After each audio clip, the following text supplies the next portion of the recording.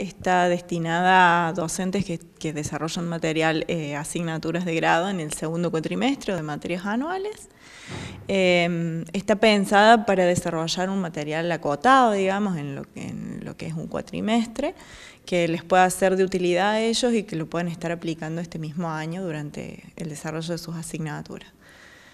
Eh, los materiales son videos, microvideos, puede ser un material hipermedial, eh, puede ser un pequeño sitio web sobre un tema, una unidad. Eh, hacemos hincapié en esto en el sentido de que sea algo viable y de realizar en, un par de meses para que pueda estar listo este año. ¿Y los docentes presentan las propuestas y ustedes realizan el asesoramiento? Exacto. Lo que se les pide a los docentes es que elaboren una pequeña idea proyecto de lo que quieren desarrollar como para poder entrar en tema.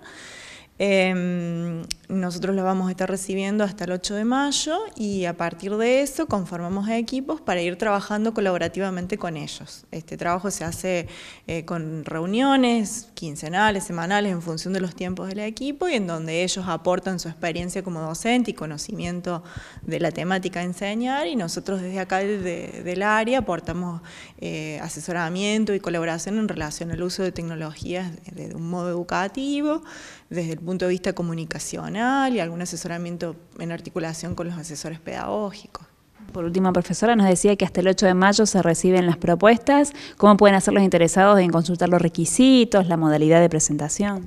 Bien, sí, se ha enviado un mail, pueden escribir a, mi mail, desolibellas.rec.unrc.edu.ar y también va a estar la información disponible, tengo entendido, en la página web de la universidad. Eh, aquellos que necesiten pueden solicitar, se les envía el formato de presentación que como archivo, digamos, para editar si lo necesitan.